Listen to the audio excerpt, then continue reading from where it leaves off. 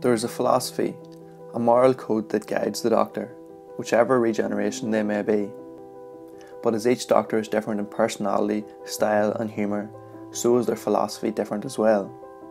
What I mean by philosophy is how they deal with situations, how they treat people and their companions, and how far they are willing to go to save the day. What makes their Doctor unique amongst the myriad of incarnations of this character? The Twelfth Doctor is so interesting as his approach changes across his three seasons, and as his incarnation develops, so does his approach to the problems that he faces. In Series 8, he is brash, short tempered, and what you see is what you get. Capaldi's iteration was very drawn back and more subtle than Tennant's and Smith's often charismatic and over the top performances. He was also arrogant and at times rude, but under this tough exterior was the heart of the Doctor that makes him so special. His arc in Series 8 boils down to a single sentence that he asks Clara in the second episode Am I a good man? Am I a good man? which is actually also the title for his theme. This Doctor is far more in touch with his dark side than 10 or 11, and that makes him question himself. This dark side is very apparent in the second episode of Series 8 called Into the Dalek. When the Doctor connects with the malfunctioning Dalek, he attempts to show it all the beauties of the universe, but he also reveals his intense hatred for the Daleks, and that makes the Dalek named Rusty hate them just as much as the Doctor. This shocks the Doctor.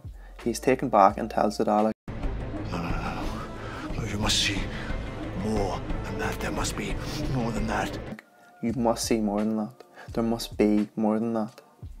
In an attempt to show the Dalek the best of himself, the doctors also revealed the worst in himself. And that duality of his character is so interesting. Every single person has the potential for good and evil, but the fact that the Dalek singularly absorbs the Doctor's hatred scares him, so he questions Clara about the integrity of his moral character. Can he be a good man, but still inspire hate to such a degree? The Doctor's questioning of his dark side has connotations with the psychological concept of one's shadow, a theory first put forward by Carl Jung, and more recently been advocated by psychologists such as Jordan Peterson. It can be boiled down to a single sentence. It is the collection of repressed aspects of our identity that Jung referred to as our shadow, and these repressed aspects are usually our darker impulses that form our shadow. For the Twelfth Doctor, his shadow is his darker impulses that sometimes lead him to go too far. We have seen glimpses of this darker side in other incarnations, and often the companion acts as a check and balance on the Doctor's actions, such as Donna in The Runaway Bride or Captain Adelaide Brooke in The Waters of Mars, but never before has the Doctor openly questioned himself. The Doctor's slightly utilitarian tendencies also puts him in conflict with Clara throughout Series 8, and this boils over to breaking point in Kill the Moon when Clara fights with the Doctor over putting her in that stressful situation. On the surface, the Doctor may seem utilitarian, especially in The Mummy on the Orient Express, when he convinces Clara to lie to Maisie, telling her that she will be safe from the foretold. However, under the surface is the Doctor's heart.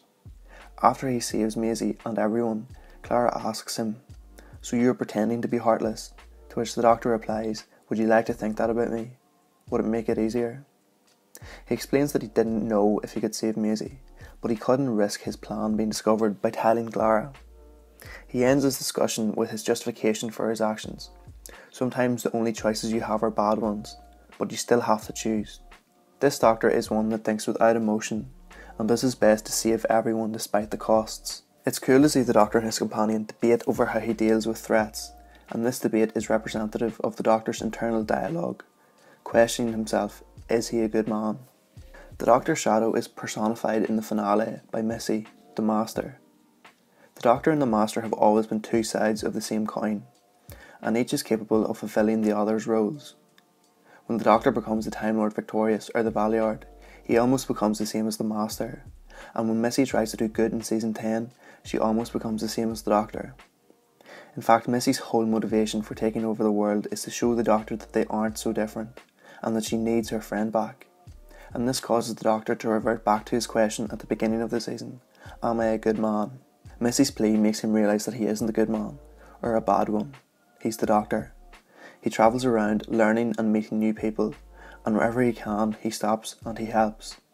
It doesn't matter if people don't see him as a good man, because he isn't a hero, he's a traveller, he's the doctor. People aren't good or bad, but they can make good or bad choices, and that's what defines them. Something that the Doctor later teaches Missy in Series 10. In Season 9, we see a completely different side to the Doctor. He's done a horrible thing, and he accepts that he deserves to die. So he wants to have a party to celebrate the last days of his life. That is why he is so different in the beginning of Season 9, why he seems so silly and outlandish. This is a man at the end of his days, and he wants to enjoy them. Throughout the course of Season 9, we see Clara and the Doctor's relationship develop, and how she becomes more and more like him. We also see how far the Doctor will go to save her, especially in the second two-parter, Under the Lake and Before the Flood. He decides to face the Fisher King and is prepared to change time when he thinks Clara's life is in danger. There are also hints at this obsessive relationship in Series 8, when Clara betrays the doctor and throws away his TARDIS keys, he says to her, Do you think I care for you so little that that would make a difference? The doctor just moves past her betrayal because he is her best friend and it is never brought up again. This relationship is the main focus of Series 9 and shows how the doctor's heart rules his head in this circumstance. In Series 8, his heart was always there, but ruled by a calculating mind. But after giving away his confession dial and his encounter with Davros, the doctor is shaken and his heart rules his head. When Clara is killed in Face the Raven, the Doctor becomes closer to the Valeyard than we have ever seen in modern Doctor Who, and he threatens me to destroy our town until Clara calms him down, and he is sent to the confession dial to face his demons. The opening lines of Heaven Sent are my favourite written by Moffat. It conveys the Doctor's pain, grief, and rage, and really makes him seem much darker than any other iteration of the character. If you think because she's dead I'm weak, then you understand very little. If it were any part of killing her, and you're not afraid, then you understand nothing at all. So for your own sake, understand this. I am the Doctor. I'm coming to find you, and I will never, ever stop. In this whole episode, the Doctor deals with the grief of losing his best friend in the world. He is tortured and killed countless times, but when he escapes his prison, he finds out that his own people put him there and were responsible for Clara's death. The people that he saved and brought back, so of course he's pretty pissed off. When the Doctor decides to bring Clara back and break the laws of time, he becomes his shadow self, the hybrid. He doesn't care about the consequences of his actions, he just acts. However, eventually he and Clara part ways and he accepts that he was wrong and he can never be like that again. In Series 10, the Doctor's philosophy is a mix of his two perspectives in both Series 8 and 9.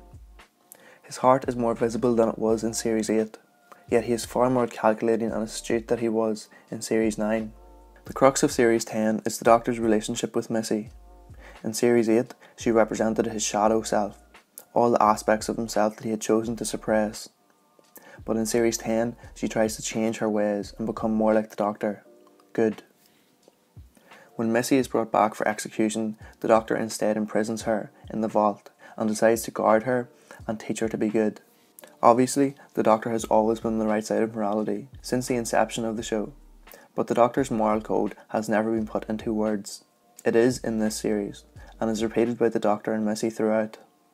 Good is only good in extremis, without hope, without witness, and without reward.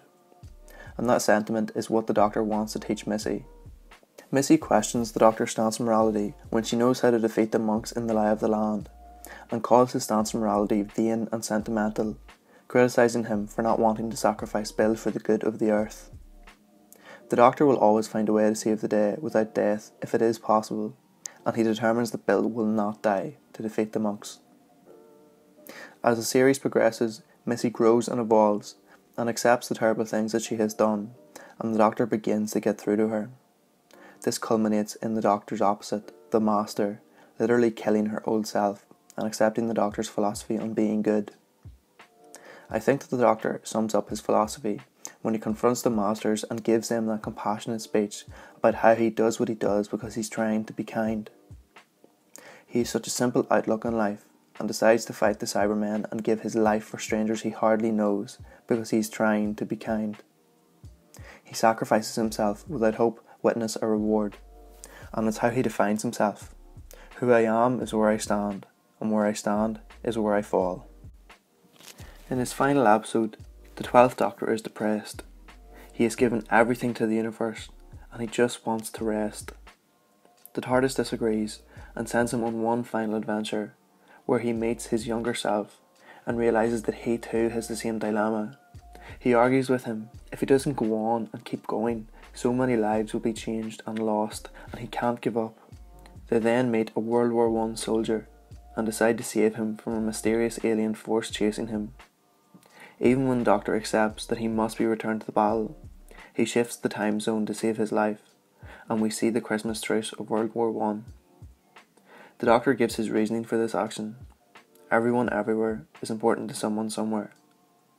He gives one last goodbye to his friends and decides to live on, telling his next self to above all be kind. Capaldi's Doctor is never static, and each series he changes and grows, but what remains is his core ideals kindness. I think that out of all the Doctors, 12 is the most kind, and it contrasts with his dark exterior, which makes his philosophy the most interesting amongst all the Doctors so far.